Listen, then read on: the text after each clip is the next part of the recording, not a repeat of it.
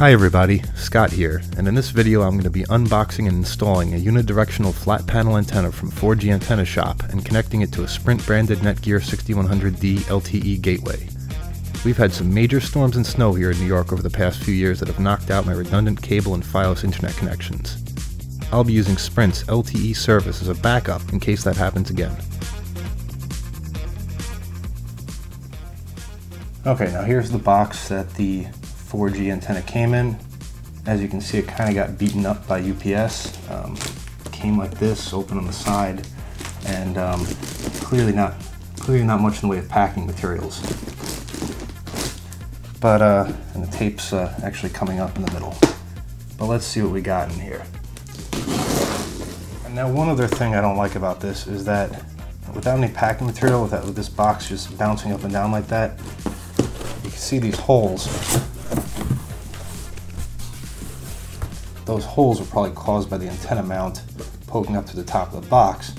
Now, if they're poking up to the top of the box, that means something was pressing down on these. So, it doesn't look like it damaged the antenna, but, uh, you know, not exactly the quality packing job one would hope for. But, no matter. Now, let's see what we got here. So, get the box out of the way. And you see the antenna just kind of stuck in with the cable. Now first, let's take a quick look at the cable. Alright, a couple of days have passed in the real world since I first opened the box with the cable and antenna and these two adapters. Let me explain why. As soon as I got it all out, I took my Netgear 6100D and I went to hook up this adapter to its two antenna ports. And of course the factory antennas had been attached and I didn't remember what type of connectors these were. Now, it turns out these are SMA females. And this adapter that came with the set with the uh, setup is two TS9 males.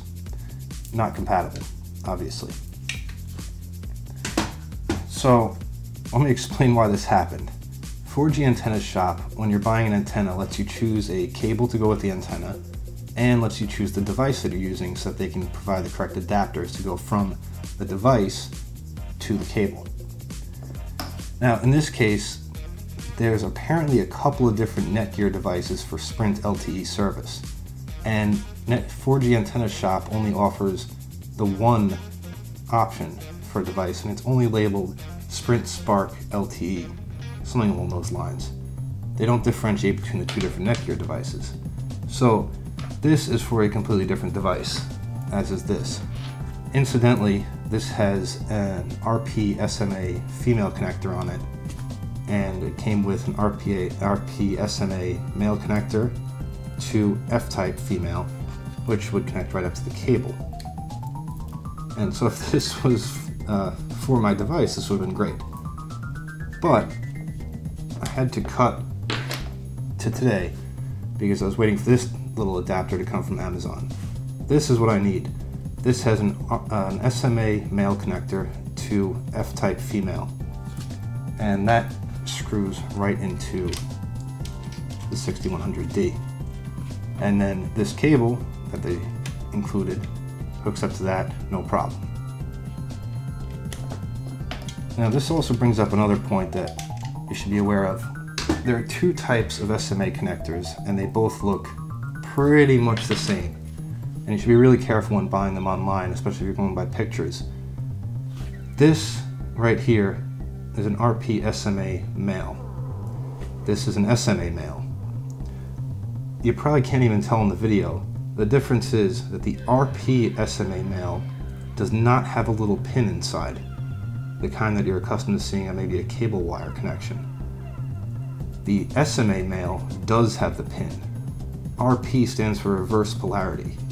Now that's a little confusing in of itself because RP doesn't mean that it reverses the polarity electrically, it just means it reverses the fact that the pin is either a male or female connection. Which is also confusing because a male connection always has a pin, that's why it's called a male connection, and a female connection always has a socket, which is why it's called female. I mean, I'm sure you could guess where that comes from. So RP means that the male connection has a socket instead of a pin. And here's an RP SMA female. And again, it's hard to see because it's a very small pin, but it's got a pin in there. So make sure you order the correct type of connector for your device because an RP SMA male and SMA female will screw together and they look like they go together, except neither one of them has a pin. There's no electrical connection made inside. You're just connecting the two shields together, which will do you absolutely no good. So, now I got my SMA male to F-type female, and I'm in business because this will connect right up to the cable. Now, this is the most expensive cable option that 4G Antenna Shop offers. And if I compare it to a pencil, you can see it's quite a bit thicker. Now, a pencil is about the same thickness as an RG6 cable, the kind you have around your house for your cable television or cable internet connection. And this is a lot thicker for two reasons. One, it has much more shielding. I believe this is quad shielded, and it has a couple of layers of shield, well, presumably four, and it's a heavier gauge shield than you normally find on your average RG6 cable.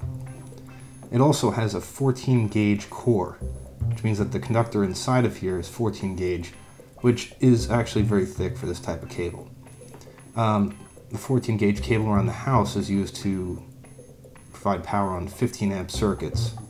And so if you've seen uh, 14 gauge Romex, you know it's fairly thick for this sort of application. That means lower loss, and on a 50 foot run, that's really helpful, as is the shielding. Now, these don't look like your typical F-type connectors. An F-type connector is what you would find on a normal cable television connection. This uh, is the same except it has a boot on it, and that's just to keep the rain water out.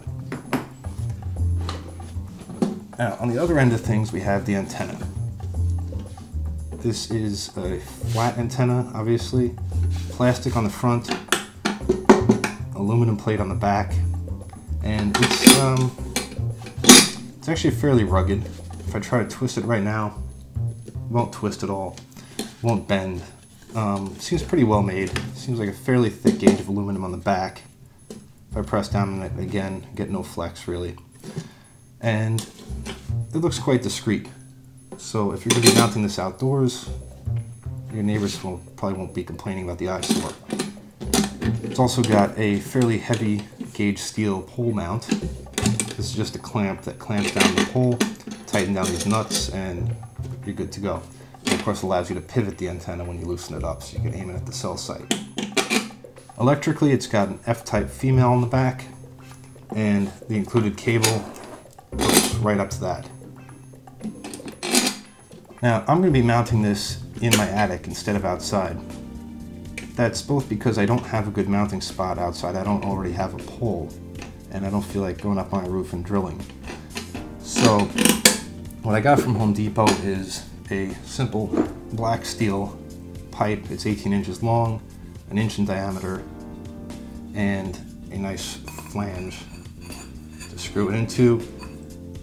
The flange is going to be mounted to my attic ceiling or a truss in my attic, and then the antenna, loosen up the bolts a little,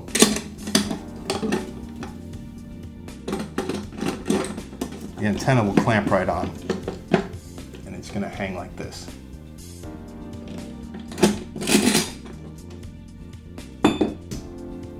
So now I've got everything I need to go from the antenna to the cable and to the Netgear 6100D. So now let's uh, get it installed.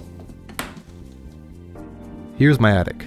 My plan is to install the mounting pole here on this collar tie run the cable along and across the rafters, and then down a plumbing chase to the basement. First, I'll install the threaded flange onto the collar tie using regular inch and a half drywall screws. Then the steel pipe gets screwed onto the flange and tightened down firmly.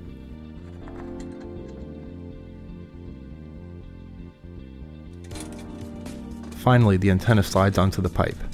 I'll hand tighten the nuts on both sides of the pole clamp evenly, which is enough to keep the antenna from slipping down the pipe. By tightening down only one side using an open-ended wrench, I'm still able to rotate the antenna without it sagging out of plumb. Even though I had previously tested the cable and antenna, I wanted to make sure that everything worked in the final mounting location. I also wanted to ensure the antenna was oriented correctly. Now with the antenna connected, let's take a look at the signal strength. We have an RSRP of negative 88 dBm an RSRQ of negative 7 dB. Now, that's not bad at all. RSRP should be between about 140 to negative 44 dBm, negative 44 being the best signal quality. RSRQ ranges from negative 19.5 to negative 3 dB, negative 3 dB being optimal signal quality. So negative 88 and negative 7 are not bad. They're towards the better end of the ranges and perfectly acceptable for this use, at least for my use. As you can see from the signal strength indicator on the device, we're getting four uh, bars of service out of five, which you know obviously is not bad. Um, I didn't test the stock antennas with the computer connected in the attic, but the stock antennas with just the device itself was showing one bar of service, which is obviously much worse. So immediately this antenna with the 50 feet of cable attached is a significant improvement over what I was seeing before. This antenna is of course unidirectional. That means you have to point it as close as possible towards your nearest cell tower. Now I'm lucky in that my nearest cell tower is directly north of here and that wall happens to face north. So as long as the antenna is parallel with that wall, I'm pointing it pretty much directly at the cell tower. Now the other way to find out where your best reception is going to be if you're not sure of where your nearest cell tower is is to just rotate the antenna in increments and see where you're getting your best signal strength. That's kind of a pain with the Sprint device because it takes about a minute, sometimes more, sometimes less, to update the signal strength. For example, when I pointed it completely off axis, I didn't see a change for at least 45 seconds. So that could be quite time consuming. The way I found out where my nearest cell tower is was by going to Sprint's website and they show a map of all the cell towers in your area. And with a compass or just a little bit of knowledge about which way your house faces, you can easily figure out where to point the antenna. So we're pointing it right here. Tightening it down is easy. Just a couple of turns of these nuts. You don't want to make it too tight, nor does it have to be. Just a little firm pressure and it's not going anywhere. Now to run the wire, from here to the basement. All right, now to get the cable from the basement to the attic, I'm pretty lucky in that I have a plumbing chase right here. You can see the red and black wires are from a previous drop I did. And when I did that, I left this rope hanging. So I should just be able to attach the RF cable to this rope and pull it right up from the basement.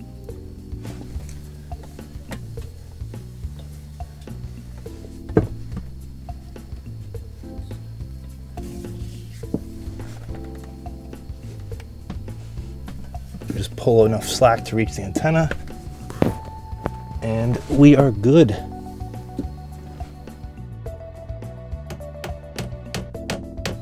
After running the cable along the rafters, I connected it to the antenna in the attic. The cable drops down to the basement where it's connected to the 6100D using a pigtail adapter I ordered from China. My core router is configured to use the Netgear's LTE connection as a backup in case my hardlines go down in a storm. The firmware on the 6100D is one of the worst I've ever seen. Read my irritable review at s.co.tt slash 6100D, and thanks for watching my first ever instructional video.